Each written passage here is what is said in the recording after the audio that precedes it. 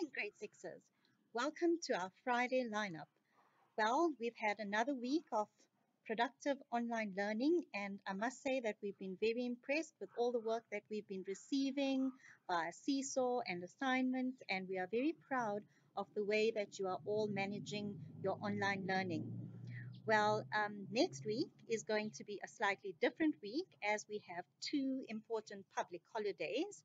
The first one on Monday, the 27th of April, is Freedom Day, and it is a very significant day in the history of South Africa.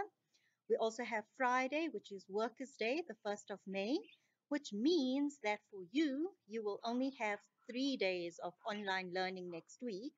However, your work will still be posted or uploaded onto um, Teams on Sunday evening as usual.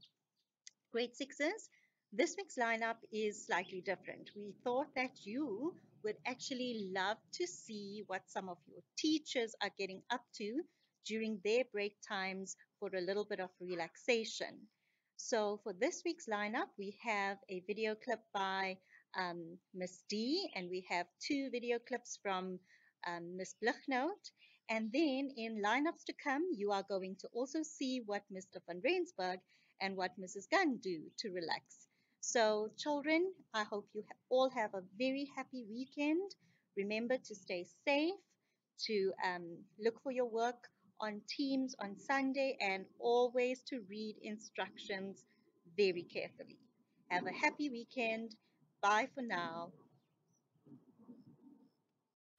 I never made it,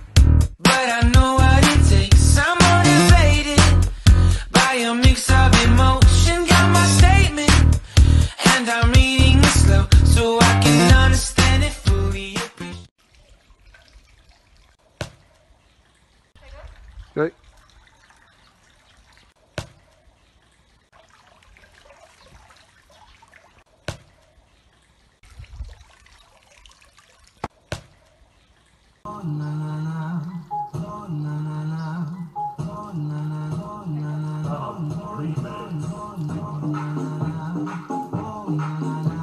Nine, nine, nine.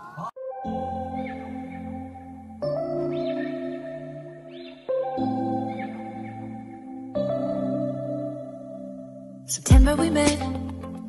I could tell by your smile. You hadn't been with a good girl like me in a while. Yeah, you were impressed. Couldn't leave me alone. Text me every time that you pick up the phone. And I had control in the driver's seat. But my hands are slipping off the wheel. Now the tables have turned. Now I'm up